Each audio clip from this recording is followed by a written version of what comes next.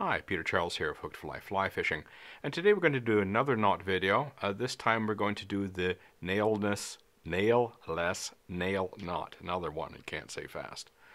Uh, the benefit of this particular knot is twofold. First off, the technique used in doing this knot is similar to some other knots. So learning this one sort of gets you into uh, a few of the others, like the Uni or Duncan knot.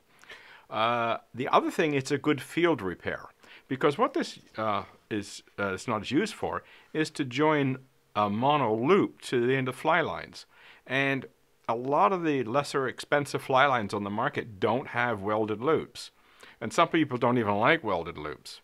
So uh, you can join uh, the mono to the uh, fly line, the end of the fly line, using this knot. Most people use nail knots to do this.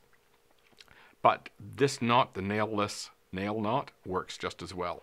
Uh, it's just a little bit lumpier, that's all. It's a good field repair. I've had that situation. Um, I was out with a friend on his boat.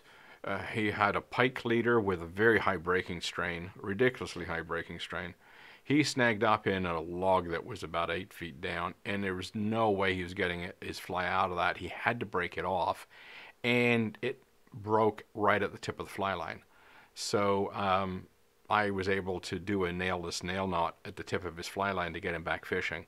So it, it you know, being able to do it as a field repair, if you end up in the middle of nowhere, your line breaks, you can join, you know, as long as you've got some thick mono with you, the butt section of a dry fly leader will do the job perfectly, and you can use this knot to do a field repair. So let's get started looking at the knots involved. Here's my fly line. And what we're going to do is we've got, this is our mono, the black line is our mono, and we're going to join this to the end of our fly line. So what we're going to do is we're going to make a loop first.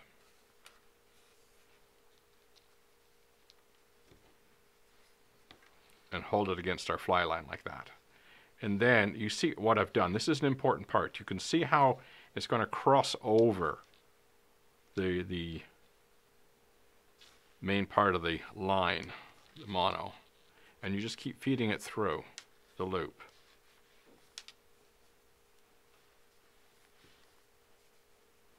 Five times is good enough.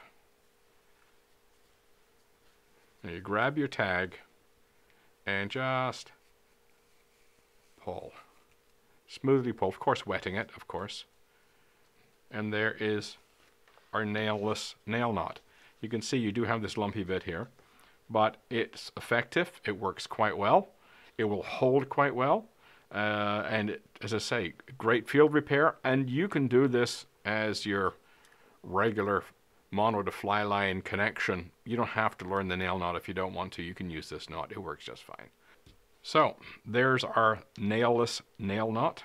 Getting better at saying it. Uh, it's quite an effective knot for holding your your mono to your to your fly tip of your fly line.